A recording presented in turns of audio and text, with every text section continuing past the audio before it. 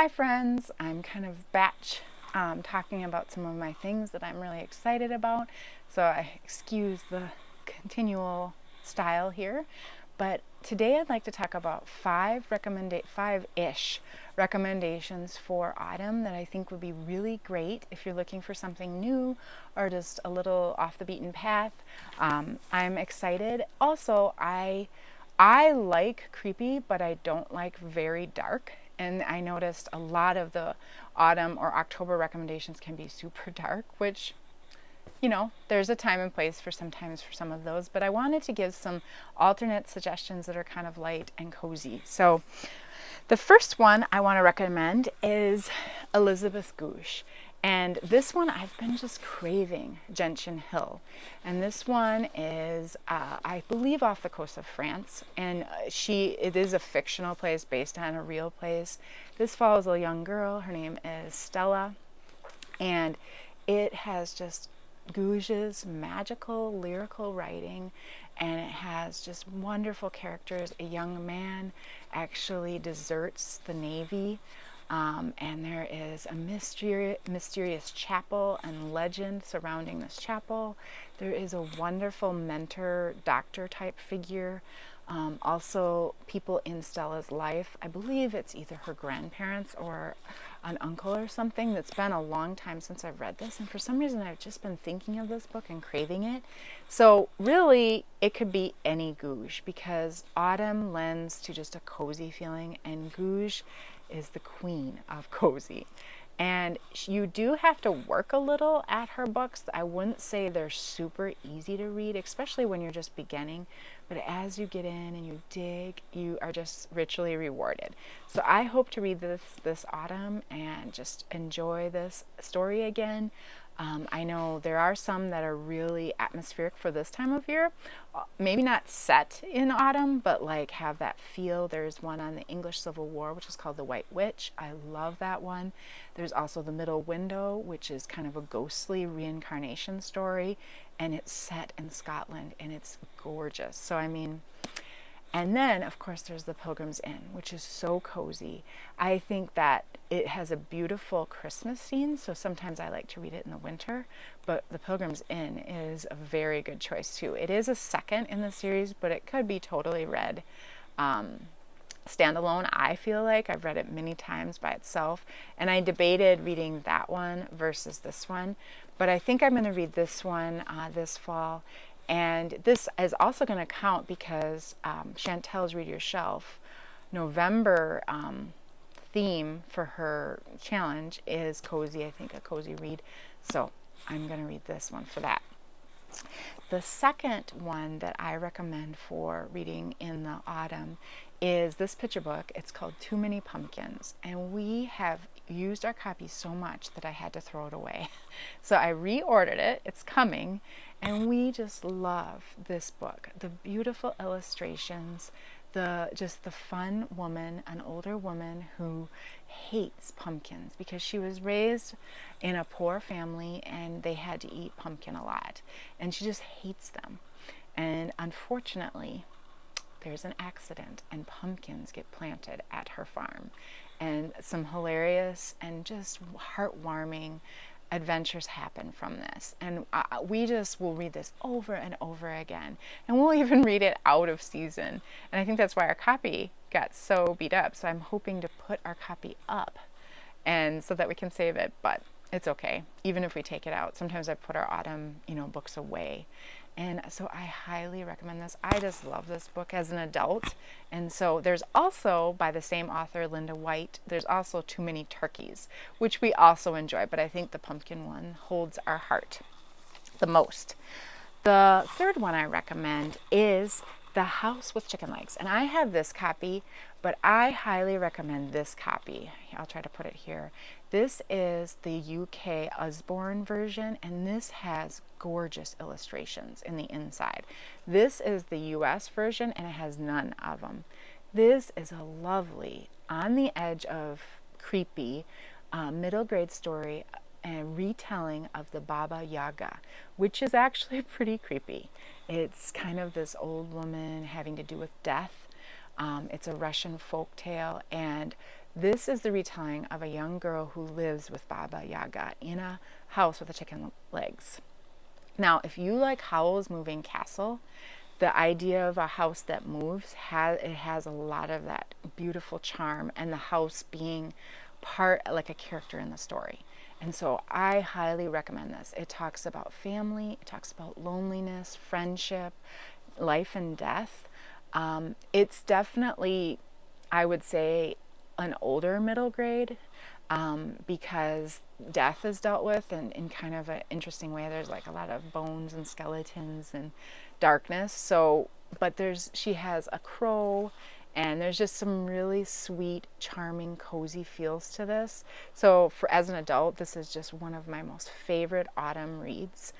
I definitely, like I said, I would definitely be aware that it is very dark. So, but I, please get the UK version because this has none of the glorious illustrations. So, and then the next one I recommend is a memoirist, and I've talked about her before, and that is Gladys Taber. And my two favorite are the Stillmeadow Sampler and the Still, Stillmeadow and Sugarbridge. And sh this one is her letters between her and her friend back and forth. And what's so neat about these is they're set up seasonally. So this one is set up monthly. So I just start wherever I am. So I would start reading in October and then go through until I feel like stopping.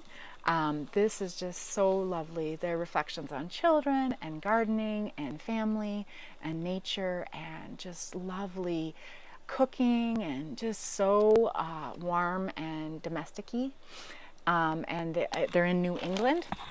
This one is set up seasonally, so I just I just opened it up and I turned to the fall section and I've done this many years where I'll just pick these up and just read whatever season I'm in. Sometimes I read them straight through and sometimes I just dip into them.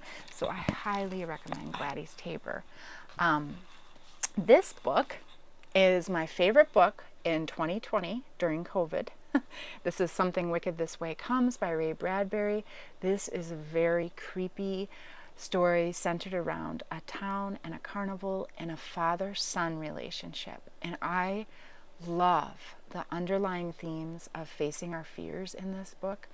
It meant so much to me in 2020 because we were facing just so much upheaval and crazy things in our world and in the United States. And this meant so much to me. This is very creepy, but oh, is it beautiful? And Bradbury's use of words and just metaphor and um, just visual He's so good. He's just like a poet that writes po- prose. And I just really, really enjoy this. I highly recommend this one for this time of year. And then last but not least, my extra. Um, this, I don't hear a lot about this series, and I think there might be a, a couple reasons, but so that is the Mirror Visitor series by Christelle da- Dabos. This is translated from French and I slowly waited and I mean I rarely get pre-orders but this time I did on this for the Kindle and so and then I, I bought the first one I haven't invested in the next one so this is I believe it's a four book series and they're long okay and they are definitely on the end of like kind of heavy fantasy slash political slash huge cast of characters slash just like a big kind of fantastical story. And they, they center around a girl named Ophelia. And I'm just going to read a little bit of the blurb because I think it'll be easier to explain. This has, um, it is a tiny bit stream of consciousness. So I wouldn't say it's, it does, if you don't like where it, there's not there's some things that are threads kind of just that take a long time, especially like the romance in here is super slow burn. And it's just kind of like a side, you know, it's a little bit of a story, but it's more of a side story. But it's just full of beautiful, interesting details. And I really enjoyed it. My sister and I gobbled this up and talked about it like a couple years ago and I I really want to do a reread. This has it does kind of have some autumn winterish vibes, which would be perfect because it's a kind of a big series. and you could just extend it out into the winter if you wanted to. But Ophelia possesses two special gifts a talent for seeing into an object's past and the ability to travel through mirrors. Her peaceful existence on Anima is interrupted when she is promised in marriage to the taciturn Thorn, a member of a powerful clan from a cold and distant arc, a pawn in a dangerous game that will have far reaching consequences for her entire world, Ophelia must navigate the lies and the machinations of her fiance's clan in order to survive in this first installment of the internationally best selling Mirror Visitor series.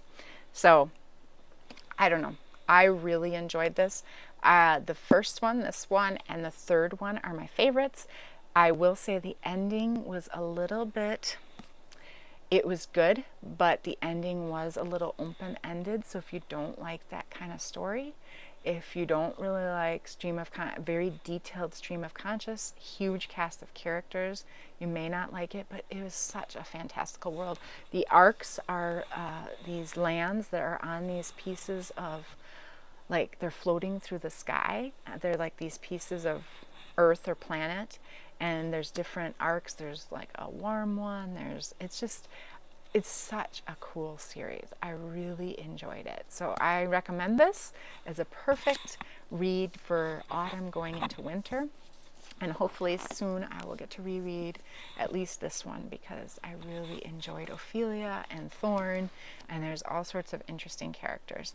And there's beautiful uh, fan art online about some of the characters, and I really enjoy seeing people's um, art that has come out of this. So, so those are my five-ish recommendations for autumn and I hope you enjoy. And please tell me if you've read any of these or if you recommend anything else that's kind of cozy with a slight edge of creep and not too dark. So thanks and have a good day. Bye.